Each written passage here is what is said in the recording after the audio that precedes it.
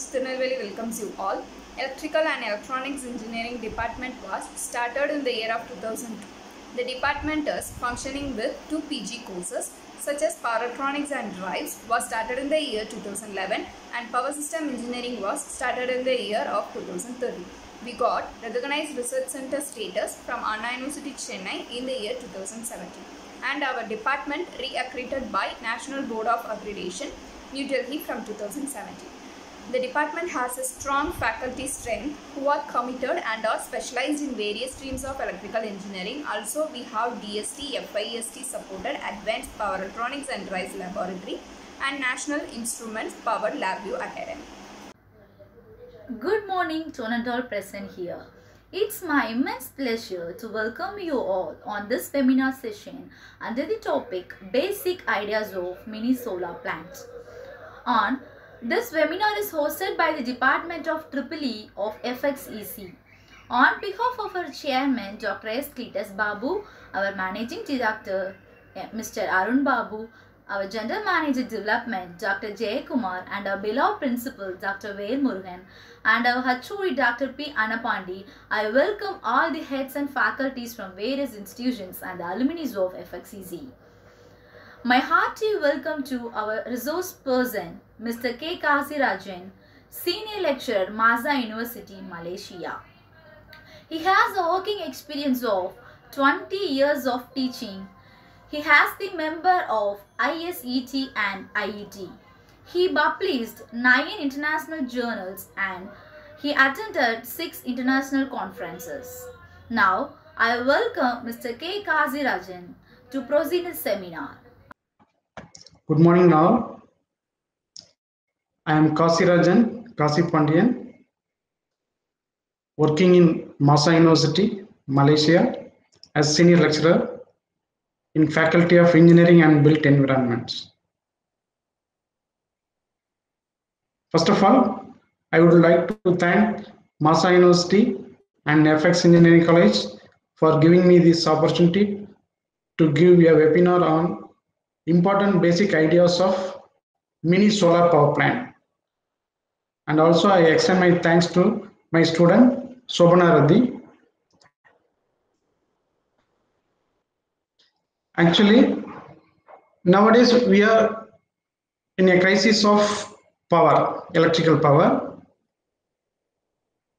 due to the diminishing nature of the fossil fuels. Definitely in future, after certain years, the fossil fuels will diminish completely. So we have to go for alternate energy sources. For example renewable energy sources. Lot of renewable energy sources are available. One among them is solar. Yeah solar is abundant in nature isn't it? So definitely we get more sunlight so with the help of the sunlight we can produce electricity how to generate the electricity by using photovoltaic cells, that is solar panels. In the solar panels, we have the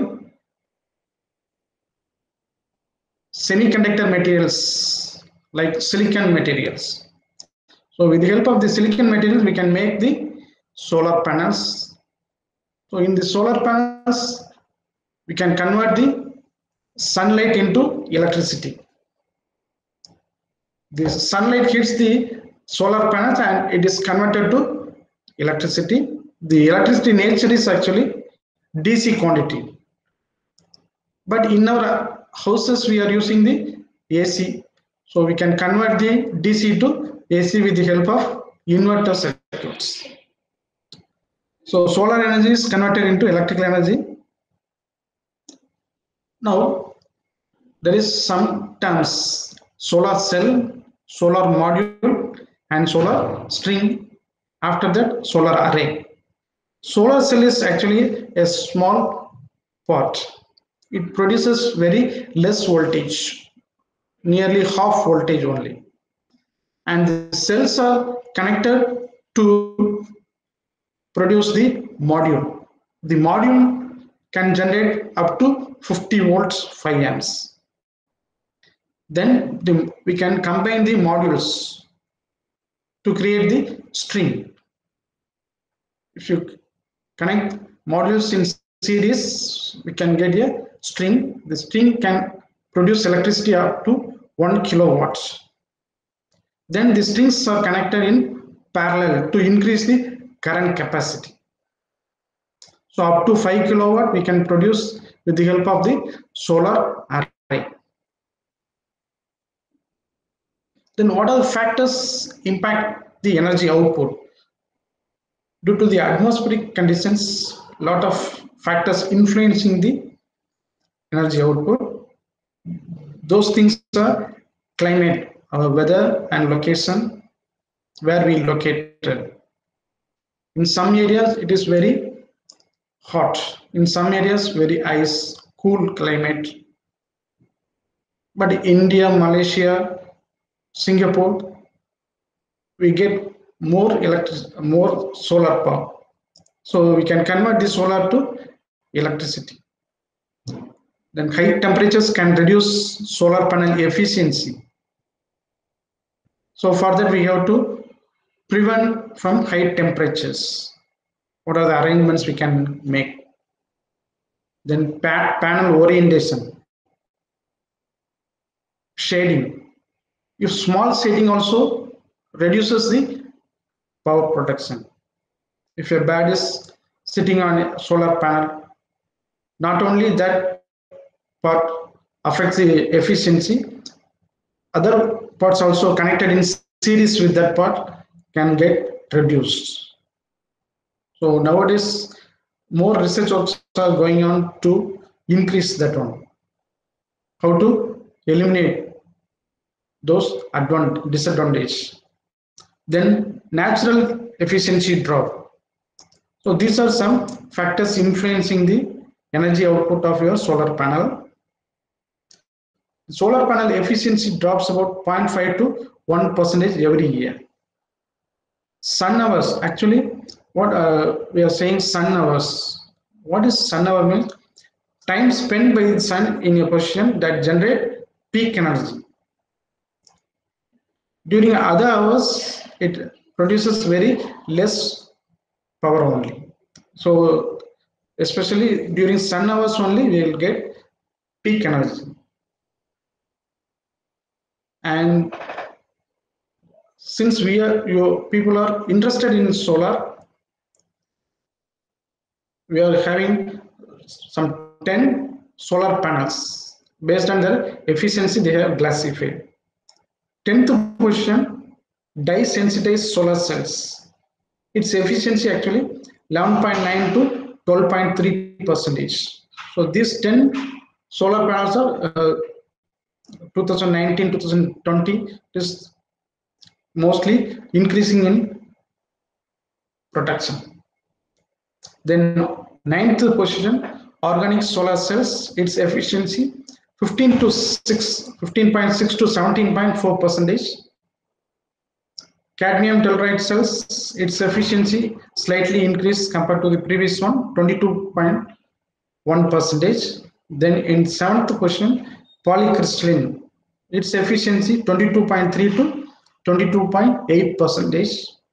Sixth position thin film CIGS cells. Actually it is a thin solar film. Its efficiency 22.9 to 23.4 percentage. Fifth position unstabilized perovskite cells. This its efficiency 23.7 to 25.2 percentage. Fourth question mostly we are using the monocrystalline cells so this one more efficiency 26.1 percentage. And its position is 4 third position gallium arsenide cells its efficiency 30 percentage. These things are growing nowadays. Tandem perovskite cells its efficiency 28 percentage. Uh, and in second position then the uh, first position multi-junction solar cells. So this is most wanted one but still research is going on its efficiency maximum 39.2 percentage Then PV system design criteria. Actually, you are interested to design a mini solar plant in your house. So for that, these five factors we have to consider after your energy auditing. So first you have to determine the power consumption demands, how much you require. Based on your energy auditing, you can uh, determine. Then we need to size the PV modules based on your requirement. Third one is inverter sizing. So what inverter rating is required for your design? That is very important. Inverter is actually converting the DC, to AC since our home appliances are using AC power. Then battery. Battery sizing, we need to size your battery. For example, if you need for two or three days of autonomy of energy, based on that, you can design the battery. So it can come for two or three days based on your design. Then solar charge controller sizing. So these are the very, very important factors that influence your mini power plant design. So if you consider these factors, then you can easily install or design your solar power plant in your house.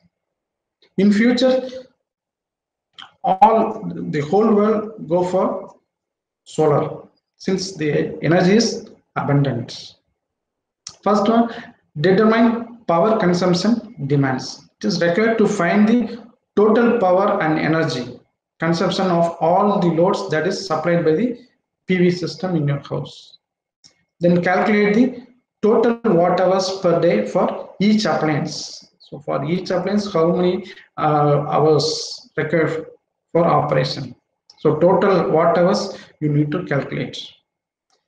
Then add the watt hours needed for all appliances together to get the total watt hours per day, which must be delivered to your home appliances. How to do this one? Calculate the total watt hours per day needed from the PV modules. So total watt hours per day provided by panels. So that is total appliances watt hours per day multiplied by 1.3 times the energy lost in the system. What is this 1.3? For safety reasons, we have to design for 130 percentage, not for 100 percentage, extra 30 we have to add. So 130 percentage we need to design. Second factor, size the PV modules. Practically different size of PV modules available and different size will produce different amount of power. So to find out the sizing of PV modules, the total peak watts produced is required. Then peak watts produced depends on two factors, mainly two factors. One is size of the PV module, then climatic condition of your site. Now we have to consider panel generation factor, which is different in each site location. So panel generation factor we have to consider. For Thailand, the power generation factor is 3.43. So I have calculated based on this panel generation factor 3.43. Total watt peak rating for PV panels needed to operate the appliances equal to the total watt hours per day needed for PV modules divided by 3.43 that is panel generation factor. So if you divide by this one then you will get the total peak watt hour rating for PV panels.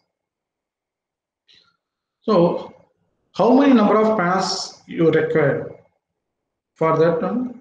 The uh, use you have to use this formula total watt hours per day needed for PV modules divided by 3.43 times rated output watt peak of PV modules available.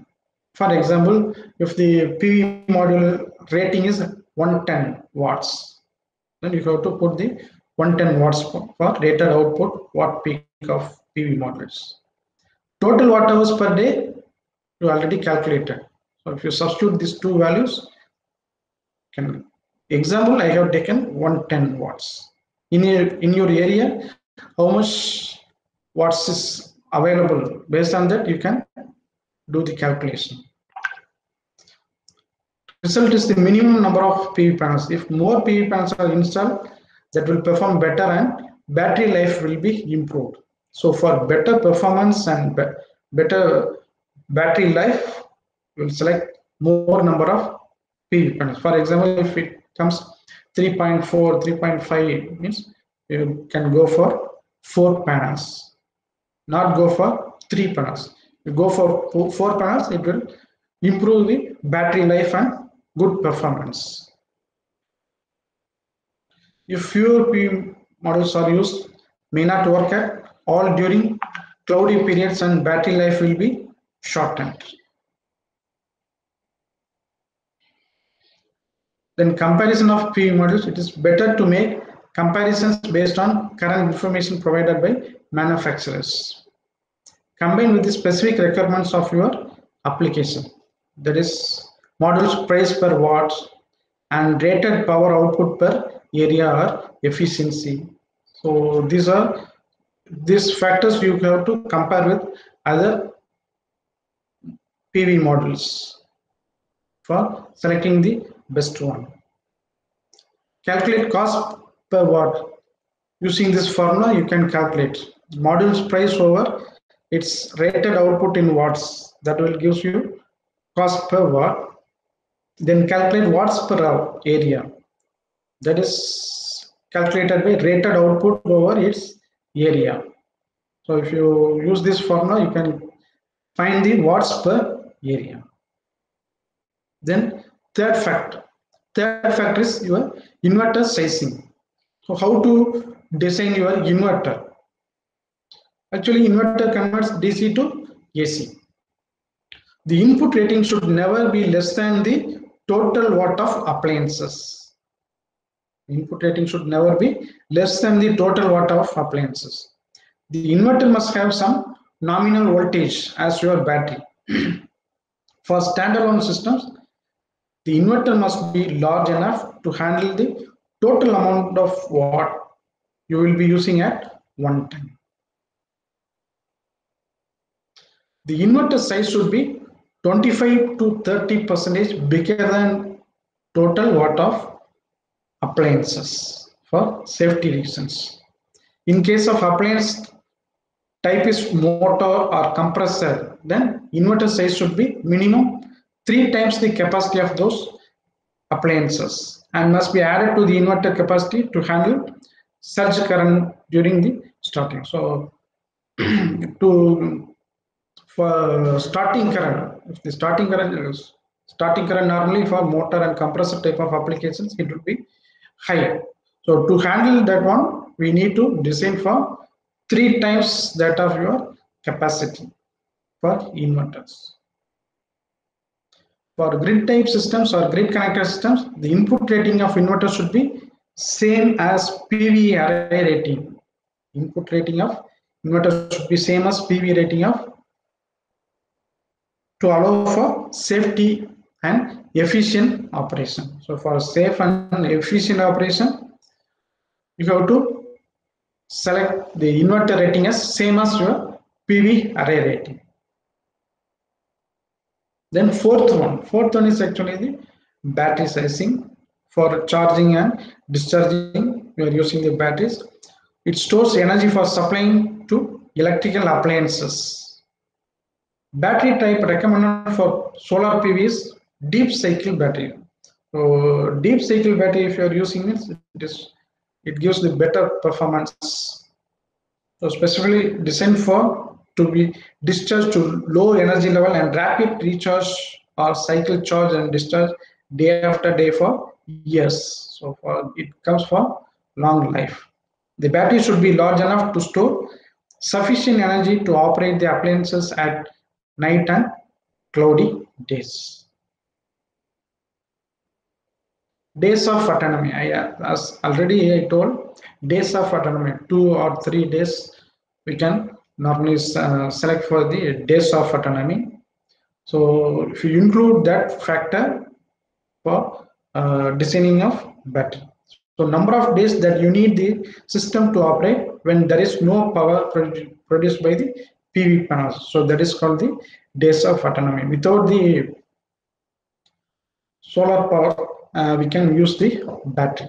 So battery capacity in ampere hours, total watt hours per day used by appliances multiplied by days of autonomy divided by 0.85 times 0.6 times nominal battery. So nominal battery rating. You substitute that one, for example, 12 volts. Then we can substitute that value to calculate the battery capacity in ampere hours.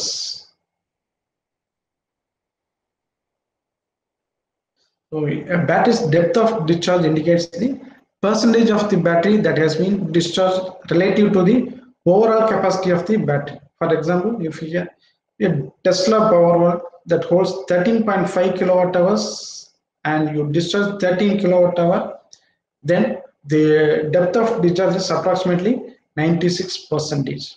So for each and every batteries, we are having the DOD. So based on the DOD, you can select the record battery. So these are some batteries and its size in kilowatt hour and depth of discharge. For example, Enphase AC battery having 100 percentage DOD. That is 1.2 means 1.2 we can discharge before recharge So that is the maximum discharge capacity. So 84 percentage means only up to 7.2. So that is for Pika Energy Harbor plus battery.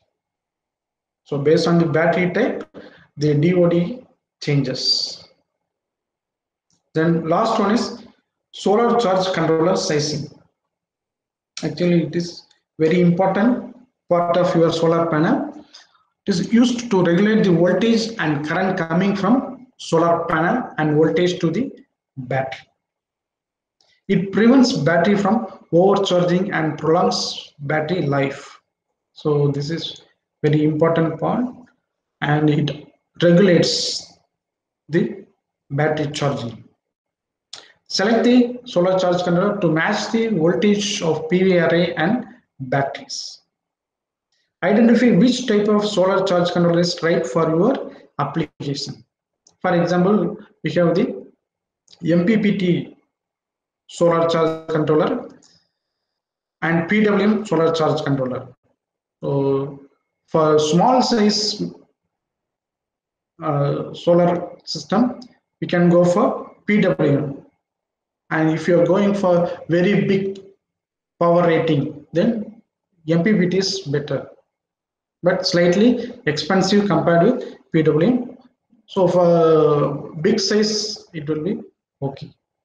Make sure that solar charge controller has enough capacity to handle the current from PV array. Sizing of the controller depends on total PV current is delivered to the controller and depends on PV panel configuration, whether you connected the PV panels in series or parallel. So it depends on PV panel configuration and total PV current delivered to controller depends upon these two factors. The sizing is of the controller is then according to standard practice, sizing of solar controller is to take the short circuit current of the PV array and multiply it by 1.3. That is for safety purpose, 30 percentage extra. So 130 percentage. So solar charge controller rating total short circuit current of PV array. If you see your solar panel backside, in the at the backside they mention the short circuit current of PV array. if you short circuit the terminals of your solar panel, then that will gives us the short circuit current. So you can also check the short circuit current and you have to use the short circuit current times 1.3 to get the solar charge controller rating. And see this is one photovoltaic module backside and here if you see the short circuit current short circuit current ISC is for this module 9.01 amps. And under open circuit voltage open circuit voltage is 46.2 that is without any load. Without any load the panel open circuit voltage is 46.2 volt so, short circuit current 9.0 amps 1 amps and where the MPPT is suitable in cloud, cloudy conditions, cold conditions, far from equator, winter time, 25 to 30 percentage more power we can get from MPPT controllers. So in these areas, it is advised to use the MPPT controllers. So this is one example how I designed a mini solar power plant by considering the these five factors. Here in our house, 18 watt fluorescent lamp with electronic ballast used for 4 hours per day. So the watt rating is 18 watts. And number of hours I consider 4 hours per day. You can consider six hours or eight hours whatever you want you can consider. Then fan. 60 watts fan i have taken. I am using two hours only two hours per day. You can use 12 hours six hours. Based on your requirement you can select the number of hours. Then refrigerator. Its rating is 75 watts. It runs for 24 hours per day with compressor. But the compressor runs only for 12 hours and off for another 12 hours. So only 12 hours is enough for calculation purpose. No need to take all the 24 hours. So 12 hours the system will be powered by 12 volt dc and 110 watt peak pv module so I have the solar panel. Its rating is 12 volt DC and 110 watt peak. So for this type of solar panel, I am going to design for these ratings. For these ratings of electrical appliances, I am going to design a solar power plant which consists of 12 volt 110 watt peak PV panel. So how many PV panels of 110 watts required for this electrical appliances? So that is my objective. So I am going to determine how many panels required for these three electrical appliances of this much hours. Fluorescent lamp for 4 hours, fan for 2 hours, refrigeration for 12 hours and watt rating. So wattage as well as hours that if you having these two then you can design or you can calculate the watt hours total watt hours. So from the total watt hours you can calculate the number of panels required for your mini uh, power plants. So fluorescent lamp 18 watts fan 16 watts, refrigeration 75 watts. So total watts 153, total watts 153. Hours used per day. So 4 hours for fluorescent lamp, 2 for fan and 12 for refrigeration. So if you multiply these two, 18 times 4, that will gives us you 72 watt hours. Similarly, 60 times 2, 120. 75 times 12, you get 900. So total, you will get 1092 watt hours. So these two factors is required for our calculation. Total watt hours per day must be provided by panels equal to total appliances watt per day. We have calculated total watt hour 1092. So 1092 watt hour multiplied by 1.3. 1.3 is nothing but 130 percentage, 30 percentage extra. So 1092 times 1.3 that will gives you total watt hours. So 1.3 for safety purpose. So 130 percentage. Second one, number of panels. So first one is actually total watt hours 1419.6 watt hours required. For this watt hours, we are going to design the number of panels. So number of panels for the system equal to total watt hours per day needed divided by the panel generation factor 3.43 times rated output. Rated output is 110. 3.43 for Thailand and total hours per day 1419.6. So if you divide this one, you will get the total number of panels. It is required 3.7. So go for higher than that one. So four panels required. Four panels of 110 watts rating is required for our system. Now, how I have selected the 3.43 that is power generation hours normally 5 to 6 hours 5 to 6 hours. So I go selected 7.6 hours for Thailand and how I can get 0.44 that is see power generation factor zero power generation at 8 a.m. at Thailand. 9 at 9 a.m 25 percentage. So power generation increases from zero zero percentage. Uh, morning 8 o'clock zero. But at 12 p.m 100 percentage we achieve at 12 p.m 100 percentage power generation. After that it reduces 75 50 25 0 i am adding all these factors. I am adding all these factors and divide by uh, number of times.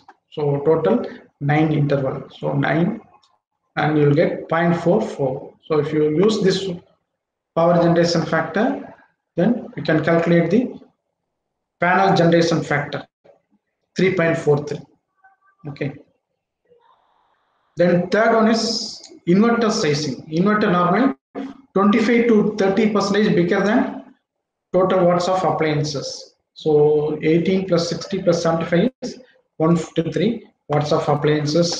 This is total. Then inverter size 25 to 30 percentage bigger than. So 30 percentage i have selected. 30 percentage bigger then inverter size 198 rated load divided by inverter power factor. Inverter power factor 0.8 means we get 191.25 so the inverter size should be between these two 191 to 198 watts. Then fourth one is battery sizing how to design battery rating. Battery capacity total watt hours per day used by appliances times days of autonomy so days of autonomy here i took three three days of autonomy. And divided by 0.85 times 0.6 times 12 nominal.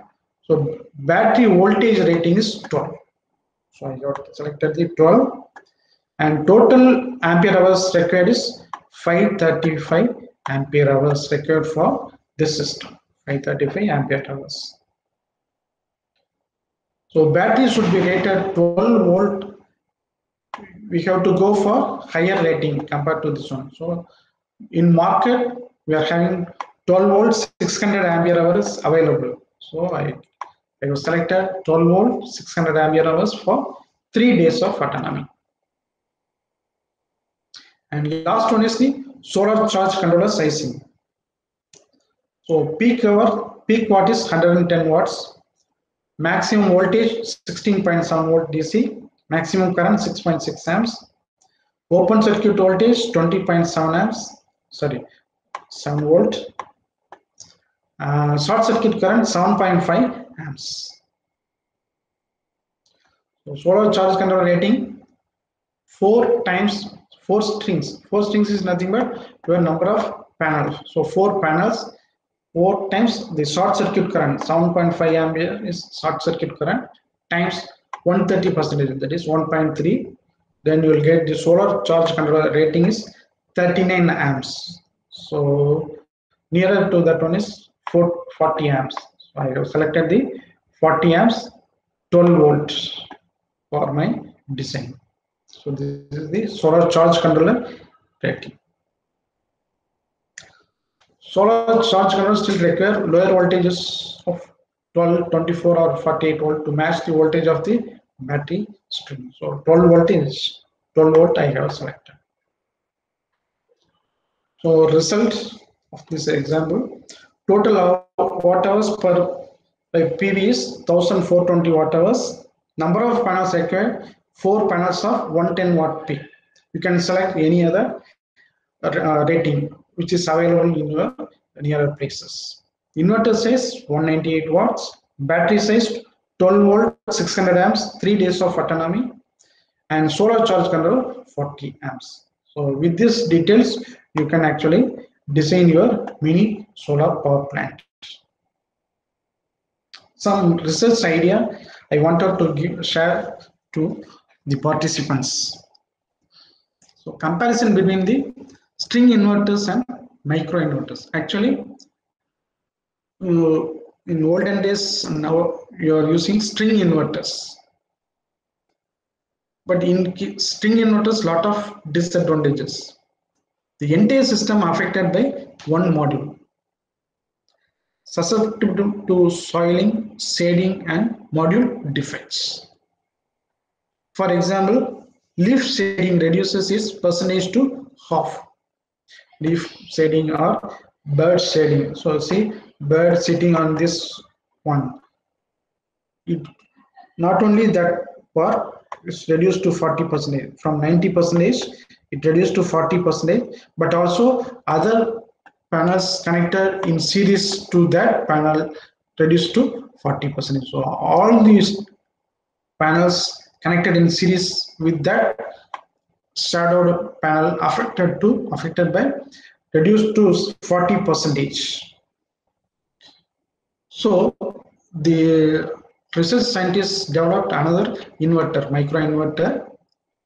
All modules controlled independently.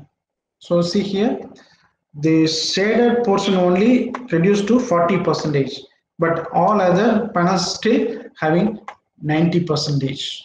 In case of micro inverters, so all modules control independently, resilient to environmental factors. Compared to string inverters, its efficiency is increased by 20 percentage. So 20 percentage efficiency is increased in case of micro inverters compared with string inverters. So drawbacks of string inverters, when a part of solar panel shaded, then the output of the whole string is reduced to level of its weakest panel. So level to weakest panel, all efficiency is reduced each string must have equal number of solar panels, have to be installed in a same angle and have to be same type. That means if you are using monocrystalline, you have to use all the panels as monocrystalline. We cannot go for polycrystalline or thin film technology. We cannot go. All the solar panels should have same uh, type. Then only we can get good efficiency. Or otherwise efficient performance will be reduced. We cannot use small solar system can only affected much. In case of emergency the utility grid can be shut down but not the solar panel. So due to some emergency conditions the utility grid can be shut down. But solar panel still it uh, produces the electricity. In this condition, cables from the roof to inverter will still be under high tension. So that will affect the system. So these are some drawbacks of string inverters. So we can go for micro inverters and power optimizers. So these are the two solutions for the drawback. So instead of using the string inverters, we can use either micro inverters or DC power optimizers. So if you are using DC power optimizers and on inverters, we can solve that problem. The micro inverters install under every solar panel and converts DC to AC. So uh, under every solar panel, we can install the micro inverters. Every micro inverter connected to grid independent from other micro inverters. So shading of one panel will not affect other panels due to the presence of micro inverters. When one panel gets affected, it will not affect the performance. The right voltage is found through a technique called maximum power point tracking. So this is another research topic. So if you are using MPPT, right voltage can be found. When power fails, the microinverters slow down and stop feeding the power into cables. Okay, so that microinverter is expensive than, but uh, microinverters slightly expensive compared with your string inverters. DC optimizer. So this also maintain the efficiency compared with string efficiency, string uh, inverters. It splits traditional inverters into two products, power optimizers and simplified inverters in case of DC optimizer. Optimizers installed under each panel and turning them into intelligent modules. With the help of intelligent modules, we can control independently from affected uh, panels. By using panel level tracking and real-time adjustments of current and voltage, the power optimizers maximize the power output to the optimum working point of each panel. Due to shading, the underperformed panels don't affect the output of other panels. See? So affected only 40 percentage, others still getting 90 percentage. So no problem. During power shutdown in the grid, power optimizers reduce the power output of each panel to a low and safe voltage. Micro inverters and power optimizers are module level power electronics actually. Some more research topics actually. Nowadays, a lot of research going on to power the solar power road. But it has some disadvantages also. We have to use very thick solar roads so that the vehicles can go through that one. And with the help of LEDs, the line can be drawn. And the signals also with the help of uh, install the LED lights, you can give the signals right side, left side, red color, yellow, then green color like that. So more research also are going on to install the solar power roads. Then non-filtered light can be blocked with the help of color filters. So that is another research area. Light intensity sensors with the help of light intensity sensors can sense the coloring and uh, which one is suitable for producing more electricity. So using this one, we can increase the power production. If you analyze the coloring of lights, then how to avoid overheating of solar panels? See, if uh, zero degrees Celsius means more current, and if the temperature increases, the rating reduces, voltage rating reduces, and current rating also reduces. So how to avoid overheating of solar panels another research area. Then solar cells based on perovskite cells, a broad category of compounds characterized by certain arrangement of their molecular structure could provide dramatic improvements in solar installation. So a lot of improvements due to the presence of the perovskite cells. So this is actually recent topic, February 2020 topic. Still research is going on. If you are really interested in solar panels, can go this type of research area. Then photovoltaic power sensors for Internet of Things. So that also another research area. Planning, how to plan for installing the solar power planning. Actually, initially your two members are there in your family. So for them only 675 kilowatt hour is enough.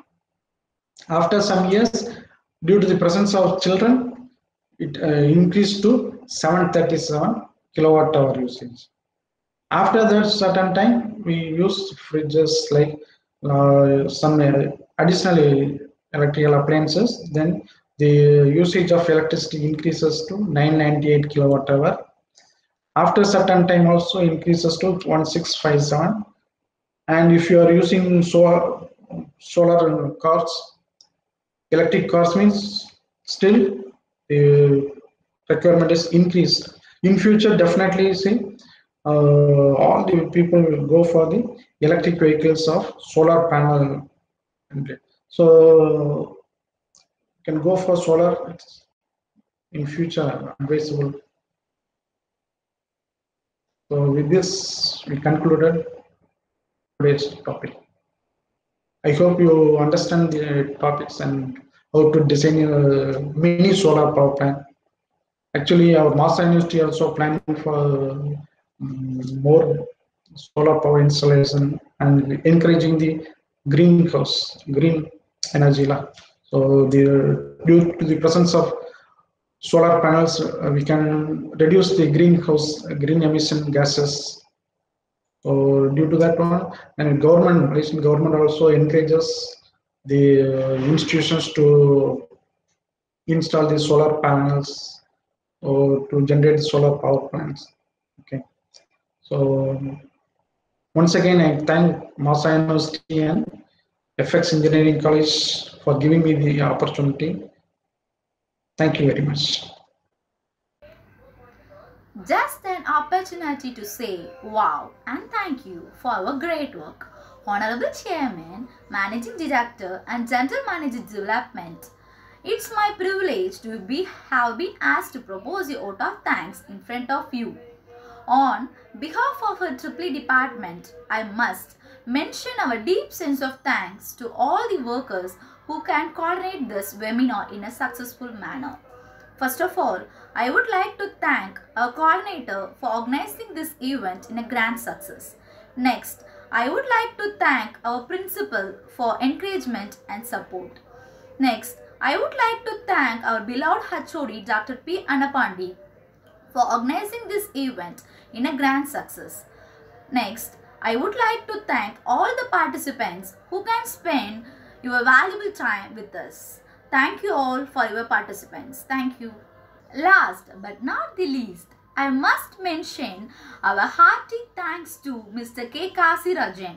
The word you put out this session was excellent.